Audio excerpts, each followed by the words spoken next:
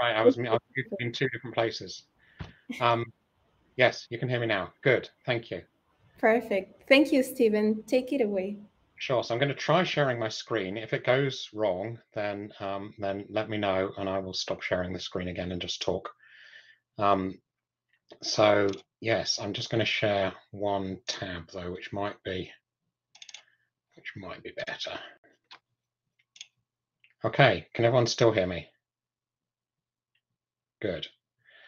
Um, so we're going to talk about working at Docker, uh, which is slightly different from the things we've we've been talking about up till now, which has been more about technology. Um, but the reason we wanted to talk about that is because we're hiring. Uh, so yes, we um, we've been talking about some of the some of the cool things we're doing. Uh, we've been um, you, have you've, you've seen some of the uh, Docker desktop stuff. We've got a lot of, lot of other stuff going on, and we want to bring you more stuff. We want to bring you stuff faster, and so to do that, we need more people, and we're growing the company and looking for more people to join us. And we thought, where better place to look than on our community? We know we've got a lot of um, we know we've got a lot of talented people here, people with lots of lots of different talents, and we know we've got a lot of Docker fans. Uh, so um, if that sounds like you, and if you might be interested in actually coming and coming and working with us and, and building the next set of Docker tools, then um, yes, please uh, please uh, think about applying. So let me talk about what positions we've got. Um, sorry. Um, yes, so we've got um, well, actually, pretty much all our departments are hiring right now because we are we are growing quite fast. But let's start with software development. So one of the nice things about about Docker is that we've got really quite a large software stack. We've got everything from um, operating system up to UI. Basically, we've got um, at the bottom we've got the kind of um, Docker engine and the virtualization layer that, that I was talking about in the in the Docker desktop talk before. Uh, we've got the um, back-end applications, we've got full stack positions, we've got front-end like UI JavaScript positions. Uh, we develop on we develop CLI programs, we develop desktop apps, we develop web apps, we work on Mac and Windows and Linux. So we've got a really quite wide variety of, of engineering roles. Uh, if if any of those match what you do, then we may well have a have a position for you. Um, we're also looking for product managers and product designers. I think one of the nice things about the way we work at Docker, which is is not something I've encountered in, in previous jobs I've worked in, is we have um, a really high ratio of product managers and product designers to engineers. We have, in fact, every Scrum team has a product manager and a product designer embedded in it. So that's how we make sure we're building what what you our users want, and it makes sure we we continue to build it in a kind of um, intuitive, friendly, uh, simple way that is usable. Uh, so yeah, as we grow the number of engineers, we need more product managers, more product designers as well. Uh, we need sustaining engineers, we need data engineers, we need engineering managers. As we get more engineers, we'll need more managers as well. Um, and yeah, so those are the positions in kind of product and development, which is probably um, probably most of what um, most of what people on this call are interested in. We also have um, positions in our other departments, though. So if you happen to be in sales or marketing or HR or finance or anything like that, or if you have friends who are who might be looking for a job, uh, those departments are hiring as well. Um, Eduardo, a sustaining engineer is kind of a very technical support engineer, someone who takes support questions but can also um, dig into the code and, and, understand what the user's problem is. Um, so uh, next slide. So yes, where are we hiring? So it's not actually everywhere. So all our positions are remote. We all work from home now. Uh, we used to have offices. We closed them at the beginning of the pandemic, and then we discovered that actually remote working works really well for us. And so we're going to continue that. We're not going back to the offices. Um, however, there are only certain countries we can hire in at the moment. They're the ones shown on the on the maps and the and the lists here. Um, unfortunately, those are the only countries in which we actually can pay people at the moment. So um, apologies if you're in one of the other countries, um, but if you're in one of these countries that's uh, that's coloured in on these maps, those are the countries that we're we're looking for. Um, I thought at this point I would um, talk to some of some of my colleagues and find out um, find out more about what they do at Docker and what their experience of working at Docker is. And so, um, if they, if you, uh, um, have we got the other the other three people here? We're going to start with Anca again, if she's there. Anca, have you recovered from your have you recovered from your internet problems? Uh, hi, can you hear me now? We can hear you. I think it was when you were sharing your screen, Anca. It worked really it worked really perfectly until you shared your screen, and then it just cut out. So oh, I don't know sorry. But um, yes, it might have been because you were sharing the tab that had the thing itself, and it was going all recursive. I don't know what happened, but anyway, we can hear you perfectly now. Okay, um, thank you. So um, um, yes. Um, so why don't you start, Anca, and tell us? Well, you told us a little bit about what you do, but tell us again, and tell us um, tell us what how you how you find working with working in Docker, and uh, yeah, what you like about it. Sure. Uh, so hello again. Sorry for the previous session.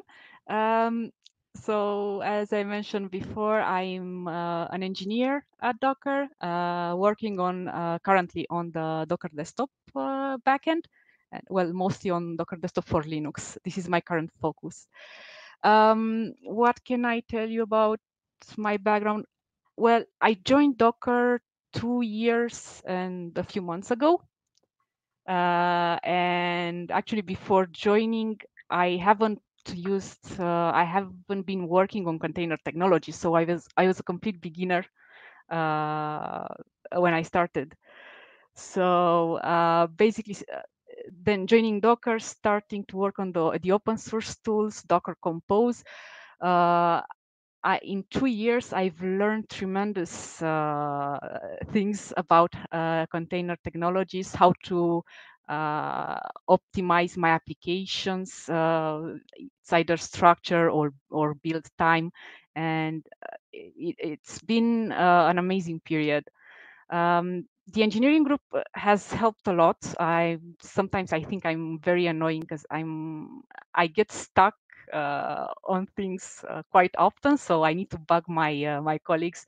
Can you help me with this, or uh, just tell me what's not? Uh, if they can identify a problem or describe me some sort of process, uh, the process that just to get just to understand it better. So um, I think that from from a personal view, I've I've been growing as an engineer and I'm becoming better and hopefully will continue this growth. Uh, will, I'm going to do this continuously. Um, also, what I like a lot uh, is the the work environment, the team. Uh, there is a lot of uh, knowledge sharing between uh, engineers, uh, and it's not only within the the engineering group, but there is a lot of very good communication with the Docker community, which uh, it's amazing. And it for me, it has been the first time working on tools that are uh, being used by a very large number. Uh, they have a, a large uh, user base, and every every line of code that we commit to can have a huge impact. So uh, it, it, was a change, and it's it's really that motivates you to build uh, new features and to ship new new tools because uh, we actually uh, are fixing some real uh, issues that our users have. So it, it, has been really a joy to to work for these two two years in docker. Um, what can i say more um, also it's not only from a technological point of view that we are getting uh, as an engineer i'm getting better at understanding the tools what is happening behind the hood. Uh, there are also uh, there is also the fact that uh, your work whatever you're working on it's quite visible uh, in the sense that we are sharing whatever we are uh, the progress that we are doing on our current uh, uh piece of work. We are sharing with uh, within our engineering group and uh, you get feedback on it right away and then we we, we can also share it within uh, the docker community and that's the response is amazing. Sometimes you you get feedback and you get to actually learn more about how different tools can be used and how people different use cases uh, that uh, uh, developers can use our tools for. And uh, it's been an, a, a very an, an amazing journey for me. Um, so uh, what can I say? I think this is one uh, for me as an, engineer. Uh, it's one of the things that motivate me to to work uh, to create new stuff. Uh, having good people, good feedback, and seeing people really enjoying what you're working and giving you feedback, telling you how can you, what are the issues that they they meet and it's it's really uh, I'm enthusiastic about it. so I think this is mostly I have I had a very good experience and I will continue to do so. cool. Thank you. Thank you very much, Anca. Um, Mark, you want to go next? Sure. Can you hear me? Yep. Awesome. Um, so, hi, everyone. Uh, my name is Mark. Um, I work as a front-end developer on the content team here at Docker uh, which means I developed the user interfaces of Docker Hub and Docker Desktop. Um, my my Docker story started in autumn of last year um, when I when I saw a LinkedIn advert and I applied. Um, I didn't have much in the way of expectations. I wouldn't have been surprised if I just never heard back, um, but I did. I within a few days, a uh, hiring manager got in touch. Um, I had a few interest, a few very fun interviews with some cool and interesting people, um, and then uh, within about uh, two weeks of me applying, um, I had an offer. Um, and then it all started to get very real, right? Like, um, uh, especially when I was told that I would be the only uh, the only developer on, on Docker Hub within Europe, uh, which I still am, which all of you can change if you if you head to our careers page and look for the front end position in the content team. Um, but yeah, I, I felt I kind of kind of uh, a little bit scared. I thought everyone at Docker must be just so smart, um, and I was right. Everyone is, but uh, I've I've worked places before where like being around smart people kind of makes you feel dumber. Um, but being in Docker, being around smart people makes you feel smarter, and it makes you actually be smarter because uh, there's there's this amazing culture of humility and cooperation and investment in each other's success um, everyone's I was excited to learn uh, to, to share the things they know, help each other learn things, get, help each other get over the the hurdles that we're that we're facing, um, and it creates this great spirit of kind of psychological safety, where it's okay to be wrong, it's okay to not be perfect, it's okay to ask questions, it's okay to disagree with people, um, and it really helps me be my best as a developer. I don't I've never felt like a better developer than when I've been at Docker. Um, so an average day for me would be I, I, I might run uh, sync sessions with my fellow developers where we'll chat through interesting problems together and uh, collaboratively solve things. Um, I might have meetings with uh, product managers, the kind of people that in a in a in a bigger organization you might never meet um, because there'll be like a chain of seven people between you and them. Um, but in Docker, I can I can put something into their calendar and just have a chat about upcoming features. Um, and then most importantly, I just I, I build cool stuff. You know, I, I, build stuff that my fellow engineers use that they rely on. I have colleagues from uh, from places I've worked in the past who message me saying, "Hey, Mark, could you could you get this thing on the roadmap? Could you could you push this feature? Could you tweak this thing?" Um, because Docker is so important to us. It's it's so integral to what we do, um, and it just makes me feel like the coolest person in the world. Um, so if you want to feel like the coolest person in the world as well, then again, I, I, I wholeheartedly recommend you head to the the careers page, um, have a look at the uh, uh, opportunities on the content team, and I would, I would love to to meet some of you and speak with you, maybe work with you in the future. Thanks very much. Mark has, has on a mission something is called tiny wins. Like every sprint, he will fix one annoyance in either Docker Hub or Docker Desktop some like really just little bit of UI which we might not bother to fix. And Mark is on a mission to clear up all the annoyances, which is really is really good. We really value that, Mark. Yeah, just make every every developer's life a little bit better. That's right, a little bit better every every every two weeks. That's great. Um, so Steph, yeah, tell us uh, tell us where you're from, what you do, what you like about Docker. Yeah, um, absolutely. Uh, so those are those are hard acts to follow, but um, I'm I'm Steph Rifai. Um, I'm a product manager based in the U.S. Um, I'm actually in Washington D.C. and I've been at Docker for about six months, um, and they've been really awesome months. Um, so I work on the Inner Loop team, which is all about local experience. So Docker CLI, Docker dashboard, Docker Compose, all of that kind of stuff. Um, and yeah, so there's a lot of things. it was hard to kind of narrow down the things that I love about working here, but um, I, I wanted to start with just like I love working on the tooling that we work on because literally every day, all day, like I'm doing it right now. I work and use things that developers make. Um, and it makes my life so much easier. It makes my life so much better. And so it's so cool to me to be able to contribute to something that is maybe making a developer's life better in some way because I, like I, I have countless millions of developers to thank for like so much that I do. Um, so just like within that, one of the amazing things about this company is just how much that we value and it's within the company culture to like really value the user's feedback, everybody's user feedback and the community and really listening and we're not afraid to to be put something out there and be wrong and be like, okay, you know what, maybe that wasn't wasn't the right direction. We're going to course correct. We're going to change our minds. We're going to learn. Um, and really, it's like customer feedback and user feedback that helps us do that um, and make sure that we're we're staying on track and nothing gets out um, before we've talked to a user about it, before we've kind of seen um, some some people bring it up in issues or the roadmap or in, in like the feedback that you give us um, in like surveys and things like that. And so it's just really at the core of the company to, to value that.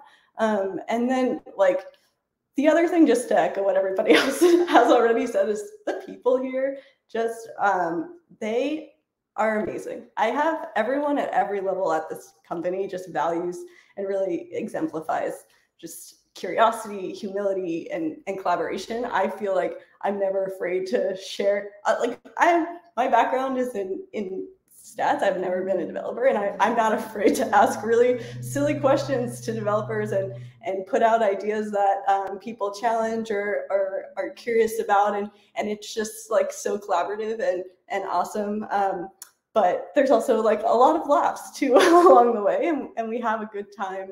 Um, and I feel very, very like genuinely excited to to learn and work with the people that are here, which is really awesome. Um, and then the last thing I'll talk about is is just the leadership. I, the leadership really invests and cares about the people who work here, and they hear our feedback. It's so obvious that they're listening to us, that they're making changes.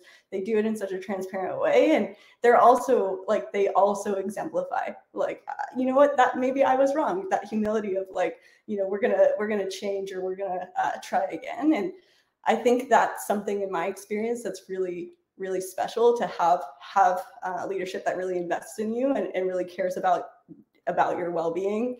Um, and so yeah i i to summarize love working here um, and i i would love to have you here. So check us out.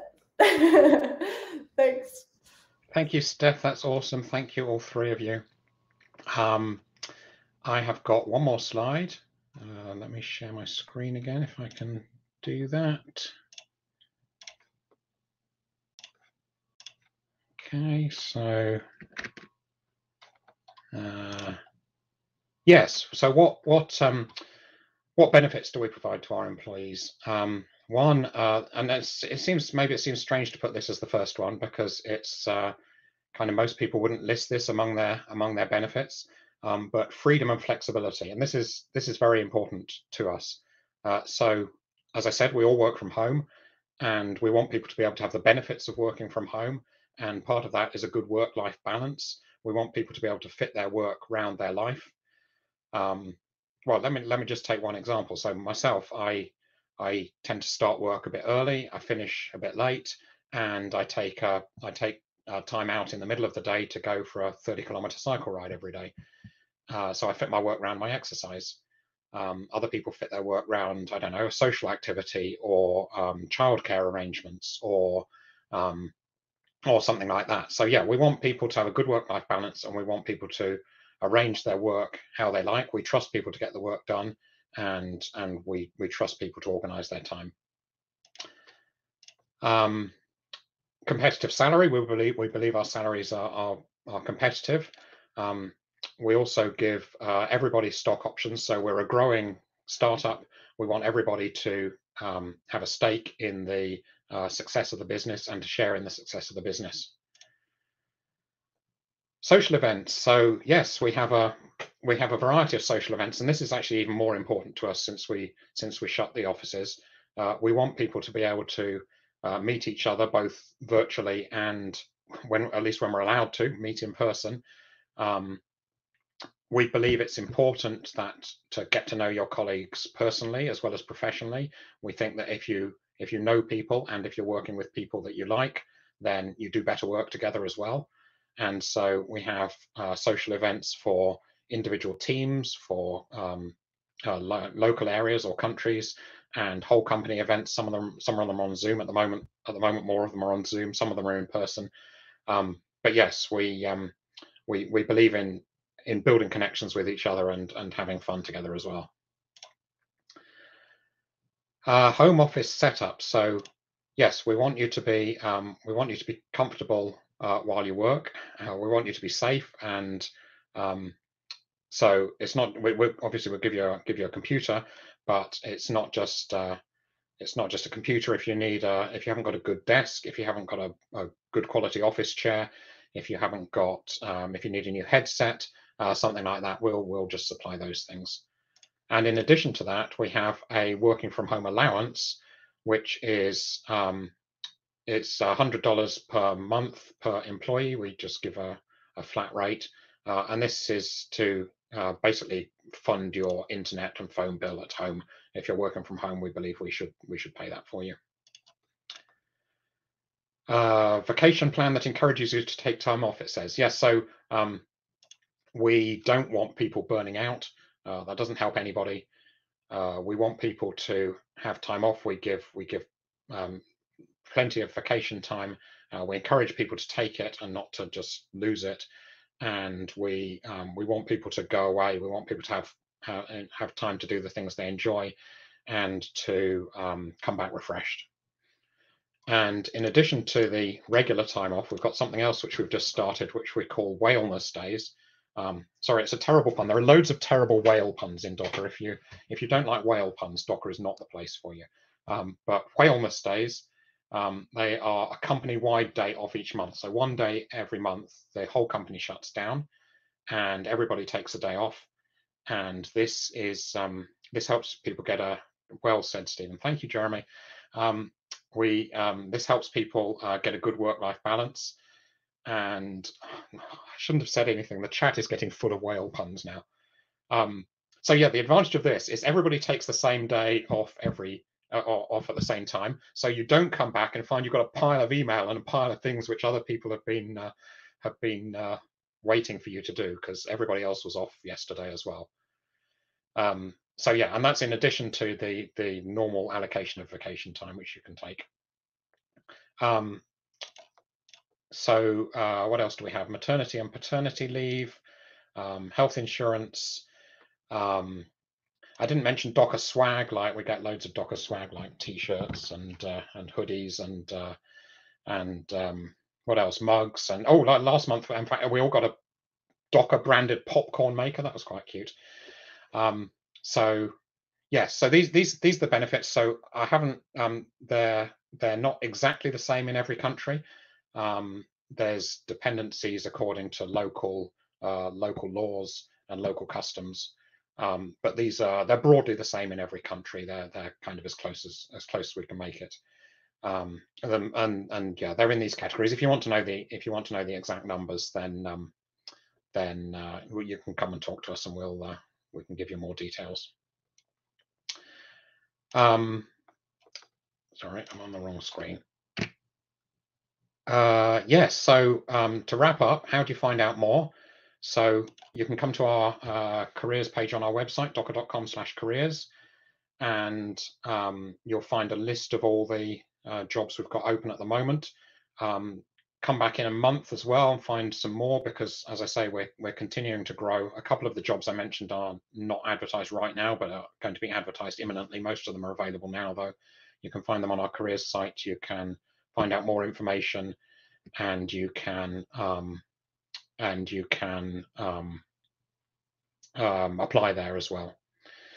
Uh, alternatively, uh, if you go to the networking channel straight after this talk, then we will be hanging out in there. We've also got um, we've also got our head of recruitment, uh, Bree is I can see her chatting on the chat as well, but she's also going to be in the in the networking channel. Uh, there's a there's a job fair area in there that you can come and talk to us if you want to find out more details. And uh, yes, so hopefully, um, hopefully we can have some of you come and join us as as colleagues in the coming months. So that's all I had for that talk. Um, I think uh, Anca's talk we are going to record and publish on our YouTube channel and on our uh, community Slack. So um, if you want to learn about Awesome Compose, which is awesome, um, you can have a chance to catch up on that. Or you can, of course, go to the Awesome Compose repository and find all our cool Compose samples. Um, apart from that, uh, so the uh, parallel tracks are, um, I was just seeing if there's any questions here that I could answer first. Um, time zone, most meetings held. So um, most, almost all our Scrum teams are in either you are, are based either in Europe or in the Americas. We there's a couple of exceptions, but we try to concentrate them in one or other of those regions for for time zone reasons. So does that answer your question, AO? Um, whole company events are kind of held early morning Pacific, um, um, lunchtime Eastern, and uh, and uh, kind of late afternoon, early evening in in Europe. Um, yeah, so we've got parallel tracks starting in seven minutes, I believe. And we've also got the networking area with some um, uh, parallel uh, language sessions. So you can look at the you can you can look at the agenda. You can join any of the any of the channels where there's going to be parallel tracks. And uh, yeah, as I say, I'll be in the um, job fair in the networking area, and you can come and talk talk to us in there. Uh, thank you for joining, everybody. And uh, yeah, hope you can join some of the uh, some of the talks for the next hour.